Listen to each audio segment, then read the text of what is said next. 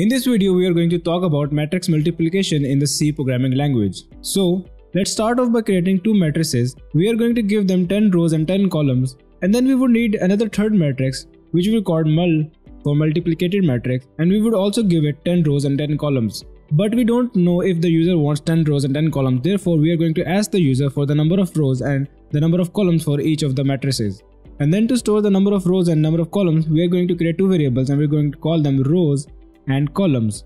And then we are going to use a scanf function to store them into the variable that we have just created. Then we are going to prompt the user to type in the elements of the first matrix.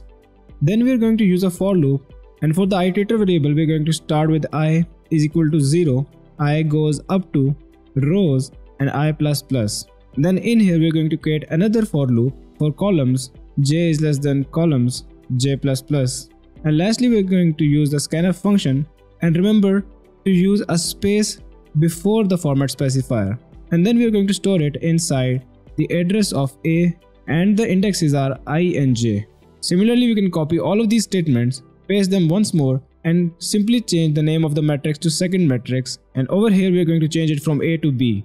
So now we have taken the matrices from the user. So now we are going to multiply the matrices and we are going to store them inside the mul matrix. So we are going to again need some nested loops. So create the loop for the rows, create the loop for the columns, and in here we simply want to change the value placed at i and j of the mul matrix to 0 because currently the value placed at i and j is a trash value or a rubbish value. And then we want to create another nested for loop and for this we are going to use the variable k equal to 0 so it's going to be k is less than columns k plus plus.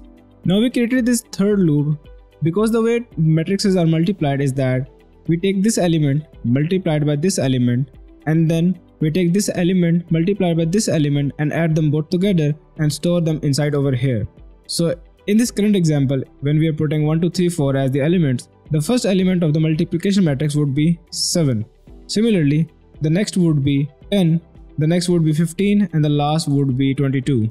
To shift to the next element of the same column in the second matrix, we are using this third for loop. In this for loop, we are going to put mul indexes i and j is plus equal to matrix A indexes i and k multiplied by matrix B indexes k and j.